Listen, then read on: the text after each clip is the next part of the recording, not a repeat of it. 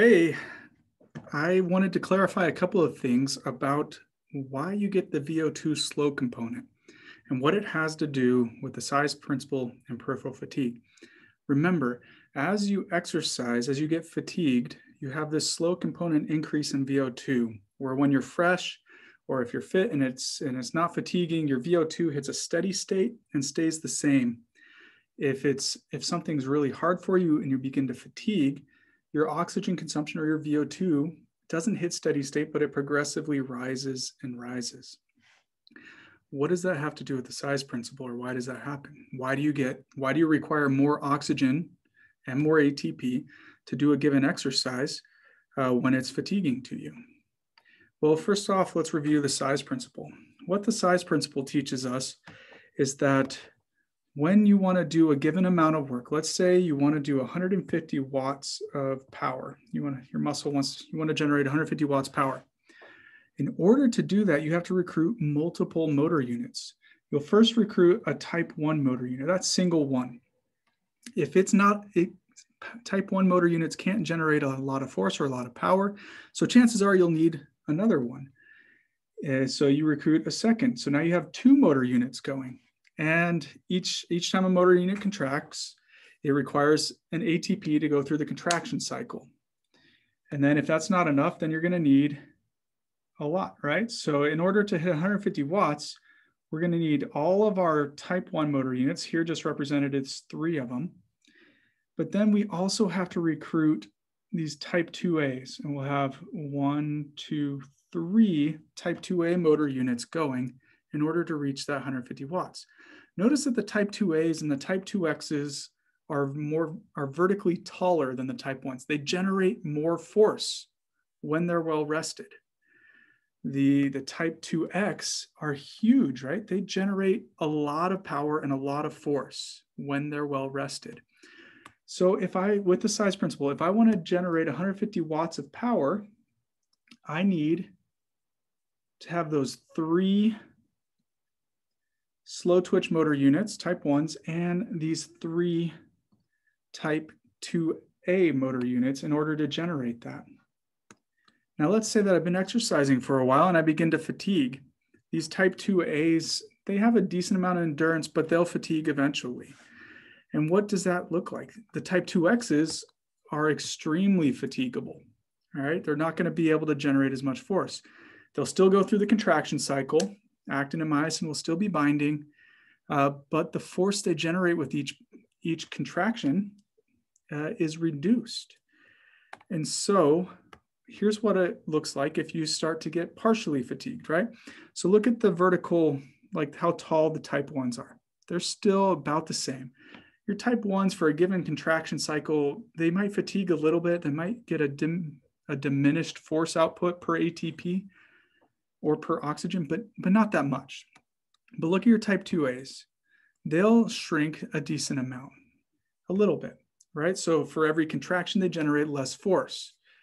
And, and then the type 2Xs, you'll see it, they also will generate less force than before. This becomes more clear when you get, as I've illustrated, the, the very fatigued condition, right? So if you're super fatigued, uh, look how tall these type 2A motor units are. They don't generate a lot of power. They're still consuming ATP to go through the contraction cycle, still consuming oxygen, but they can't make a lot of force or power. And the type 2Xs too. So they're, they're less efficient. Now, what does that mean? How does that lead to a VO2 slow component? Let's say that you want to cycle at 150 watts, okay? If your muscle is fresh, that means you'll need to activate and power three type 1 motor units and three type 2A motor units, right, when you're fresh. So that's going to be, let's just say for every motor unit, it's one ATP. That's going to be six ATP and the oxygen that, that requ is required for that. But what happens when you start to fatigue? If you want to generate 150 watts, let's look at 150 watts all the way across if you're semi-fatigued, now that doing those three slow twitch and three type 2As isn't going to be able to get you to that 150 watts. So now you have to recruit one another one, another motor unit, that type 2X fiber. Okay. And that type 2X fiber is going to require more ATP. It's a first off, it's it's an additional motor unit.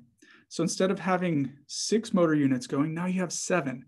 That you have to power seven motor units. That's more ATP, more oxygen. So that's contributing to your slow component. It makes you more inefficient. But the other thing that happens with these type 2 fibers, especially your type 2Xs, is that they fatigue.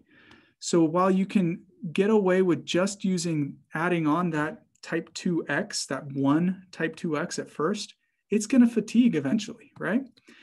And so when you, as they progressively fatigue, you have to recruit more. So look at this. If I want to generate 150 watts when the muscles are not fresh, when they're very fatigued, I used to be able to get away with this many motor units, right? Just three type ones and three type 2As, but now they're fatigued and they won't do it. Now I'm going to require the three type 2As, or the three type 1s, the three type 2As, and two type 2Xs to do 150 watts.